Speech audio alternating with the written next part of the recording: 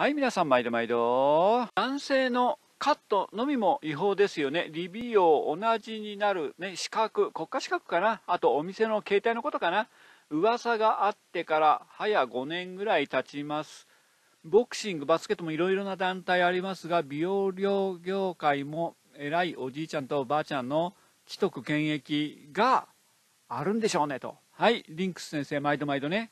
難しいね。4文字熟語はね、困るね、なかなかね。これなんか前あったよね。あの、美容室のカットがいけないんじゃないか、違反ではないかってことだよね。それなんか、国会でなんか取り上げられたんじゃない？で、その結果、まあその法律っつうの？それはもう何十年も前、戦前にできた法律であると、それ時代にそぐわないってことになってうやむにゃになったような気がするんだよね。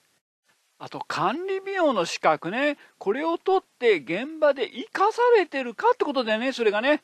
そんな管理美容の資格取ったって何にも生かされてないっていうの？をかえってそれを無視してるっていうのが大半だよね。ブラックになってるっていうのがね。昨日ちょっとお客様と喋ったけどね、あの、これは料金のことじゃなくてね、ヘアスタイルの問題ね。あの、ドラマの女優さんと同じ長さに切ると切り直しになるよね、つってね。あれば一番いい状態で切られてるから、やっぱりすぐ伸びてしまう長さだから、切り直しになるっつうの。あと女優さんは小顔だからね。まあ、あれはあれでまとまってるけど、それを一般の人が真似したらね、やっぱり、あサイドなんかかなりすくよね、耳の後ろとかね。ツインテールにね、こう大体お客さんで握るよね。あの時、やっぱり分厚いっていうよね、耳の後ろを掴んでね。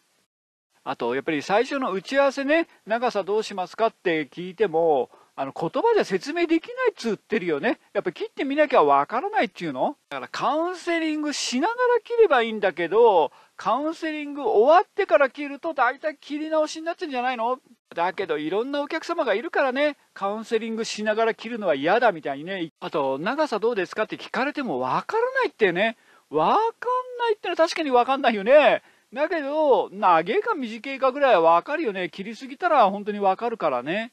わかんない時は大体長いんでね、これが一番問題だよね。まあ、昨日ちょっとね、お客様と会話してね、気になった一言をね、切ってみなきゃわからないっていうのはわかるんだけど、聞かれてもわからないって答えられたら、でもそういう方に限って全部終わってから切り直しになるんだよね。でもそういうお客様ってのはずっと一軒のお店に行ってても、美容師さんと慣れ合っててね、2ヶ月おきに行く、1ヶ月おきに行くって、まあ、いつもぐらい切ればいいのね、みたいに、もう何も、ね、その難しい会話もなくカットしてる方だと、そういうことになるかもしれないよね。で、その店がなくなってしまって、初めて来た店なんかに来るとね、聞かれてもわからない。ああ、それはあるよね。